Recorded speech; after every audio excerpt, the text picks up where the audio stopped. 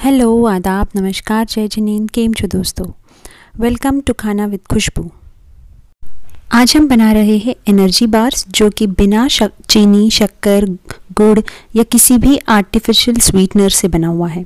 इसमें कोई sweetening element नहीं है इसके कारण आप इसे बिल्कुल बिना किसी गिल्ट के इस ठंड में एंजॉय कर सकते हैं और बच्चों के साथ शेयर कर सकते हैं और बच्चे भी बिना किसी झिझक के और बिना नानुकुर के इसे ज़रूर खाएँगे। तो इसके लिए फ़र्स्ट इंग्रेडिएंट जो हमारा है वो है खजूर।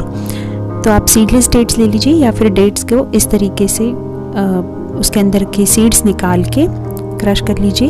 यहाँ मैंने हाफ़ के जी यानी आधा किलो डेट्स लिए हैं। और इसमें एक कप दूध हम ऐड करके इसे सोक करने के लिए रख देंगे।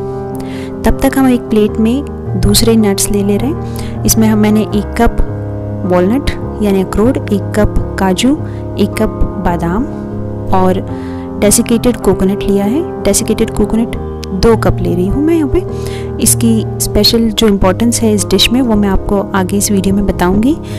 दो कप डेसिकेटेड कोकोनट और एक चौथाई कप तिल लिया है। ठंड में तिल ज़रूर ले। ये सारे इंग्रेडिएंट्स हमने एक साथ ले लिए हैं और अब हम इन्हें ड्राई रोस्ट कर लेंगे। इसके लिए एक पैन ले ले ड्राई रोस्ट करने के लिए। हमें किसी भी घी या कोई चिकनाई की ज़रूरत नहीं है। अब ये सारे इंग्रेडिएंट्स हम एक साथ ड्राई रोस्ट कर ले। आप चाहो तो एक एक करके अलग अलग भी सबको सेक सकते हैं।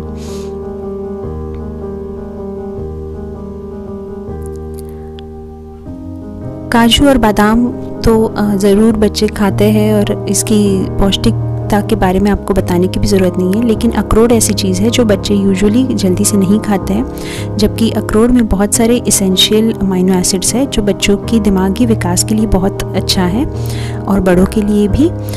इसलिए अखरोट अगर हम इस डिश में डालते हैं तो इसका ये आप खा, खाएँगे भी बच्चे और पता भी नहीं चलेगा उनको कि ये अखरोट खा रहे हैं। और तिल तो ठंड में आप जानते ही हैं कि तिल ठंड में गर्मी देने के काम आती है और इसके अंदर के जो ऑयल्स होते हैं, वो ठंड में बॉडी में एक शाइन आपकी स्किन में शाइन देने के लिए बहुत इस्तेमाल होता है। उसके अलावा जो डेसिकेटेड कोकोनट मैंने लिया है, ये इस डिश में तो बाइंडिंग का काम करता है, सारे आपके ड्राई फ्रूट्स को बाइंड करने के लिए कोकोनट हमने लिया। बट इसके अलावा कोकोनट में बहुत सारी विटामिन्स और मिनरल्स है और it is a rich source of essential very essential amino acids and fatty acids जिसमें कि uh, जिससे कि ये एक गुड कोलेस्ट्रॉल ऐड करता है बॉडी में और बैड कोलेस्ट्रॉल को घटाता है। तो इस तरीके का जो हमारा बहुत ही पौष्टिक डेसिकेटेड कोकोनट है वो हमने इसमें लिया है इस डिश में। अब आप देख सकते हैं कि ये सारे इंग्रेडिएंट्स सिक गए हैं। कोकोनट हल्का ब्राउन गोल्डन होने लग गया। तो दिस इज़ द टाइम कि अब हमें इसको सेकना बंद करना है।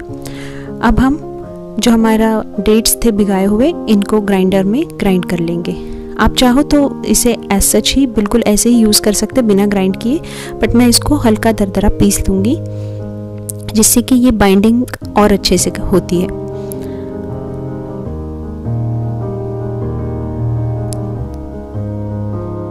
तो इसे हम पीस लेते हैं ग्राइंडर से। ये मैंने इसे पीस लिया है। बिल्कुल पेस्ट नहीं बनाया है, थोड़ा दरदरा पिसा है। अब हम एक पैन लेंगे। और इसमें ये सारा पेस्ट जो हमारा डेट्स का पेस्ट है, ये निकाल लेंगे।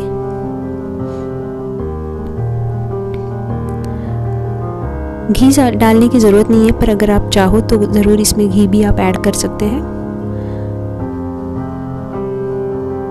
अब धीमी आँच पे हम इस डेट्स की पेस्ट को धीरे धीरे सेक लेंगे। इसे हमें कंटिन्यू चलाते रहना पड़ेगा, नहीं तो ये पैन से चिपक के जल सकता है।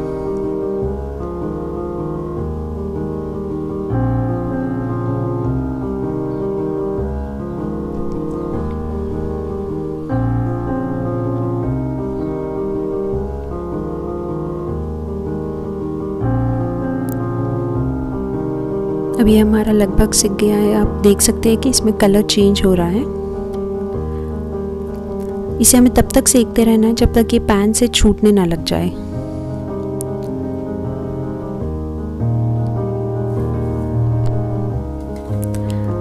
अब तब तक हम हमारे ये जो ड्राई फ्रूट्स हमने सेक लिए हैं, इनको थोड़ा सा ग्राइंड कर लेते है। मैंने जानबूझ के ग्राइंडर में या मिक्सर में इसे ग्राइंड नहीं किया, जिससे कि इसका बारीक पाउडर ना हो। मैं इसे चॉपर में कट कर रही हूँ। इसके छोटे छोटे टुकड़े हो जाए। बिल्कुल पाउडर ना बने।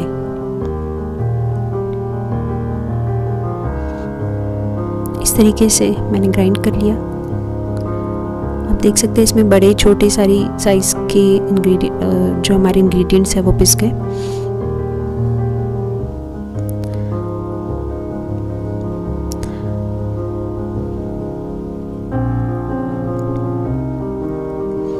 तो इस तरीके से हमने ये सारे ड्राई फ्रूट्स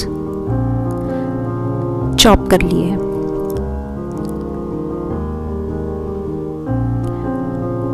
ये जो हमारी डेट्स की पेस्ट है, इस, ये भी पूरी तरीके से ऑलमोस्ट बन गई है। इसके अंदर हम हमारे ये चॉप किए हुए जो ड्राई फ्रूट्स हैं, नट्स हैं, इनको ऐड कर लेंगे। अब देखिए, ये पूरे पैन से छूट रहा है, अलग से निकल रहा है। इसका मतलब ये हमारी डेट्स की पेस्ट जो है, ये रेडी है, बिल्कुल।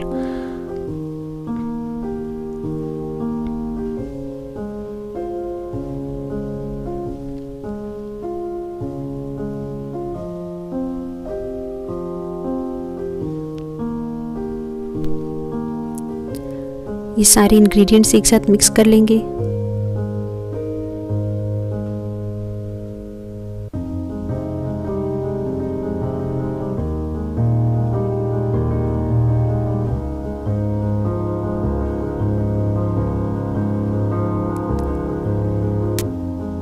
हमारे अच्छे से सारे मिक्स हो गए। अब चाहो तो इसमें इसेंस डाल सकते हैं, इलायची पाउडर डाल सकते हैं, लेकिन मैंने कोई भी फ्लेवर या इसेंस इसमें नहीं डाला। और अब ये एक ग्रीस्ड प्लेट है, जिसमें मैंने घी लगा दिया था थाली में थोड़ा सा इसमें हमने ये सारा मिक्सचर निकाल लिया।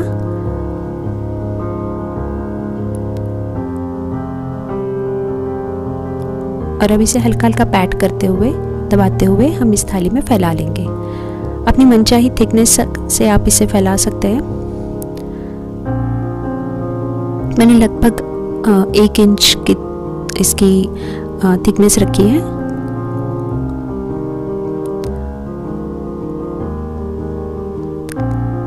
और अब हम इसे लगभग एक घंटे के लिए ठंडा कर लेंगे। अब चाहो तो फ्रिज में इसे कवर करके रख दीजिए और एक घंटे में ये प्रॉपरली सेट हो जाएगा।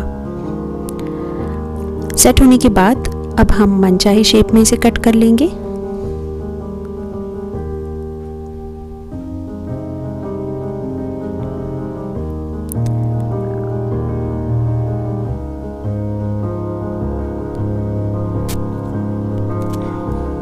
हमारे एनर्जी बार्स रेडी है। Here you go.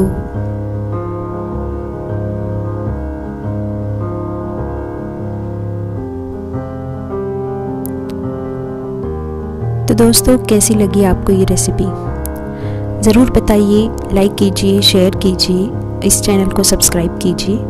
और ज़रूर बताइए कि आपको ये रेसिपी और मेरी दूसरी रेसिपीज़ कैसी लगी। Thank you for watching Khana with Khushboo